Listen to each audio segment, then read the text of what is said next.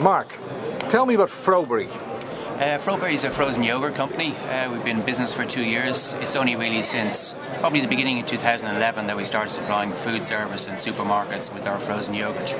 So what we do is we sell two size tubs. One is a 500ml tub and the other is a smaller 120ml great thing about the yogurt is it's low fat, it's low calorie, there's no sugar whatsoever. Instead, it's sweetened with agave nectar, so it's a really kind of healthy dessert. It's kind of a guilt-free dessert. And are you exporting at the moment? Um, we're about to start exporting. We hope to export our first batch, first pallet of frozen yogurt in March of this year. And if you would give a tip to other uh, owner managers, what would be that one tip if you want to export? What would that be? Do your research in terms of um, reaching an agreement with a distributor. Make sure it's the right one for you. There's a lot of different distributors out there.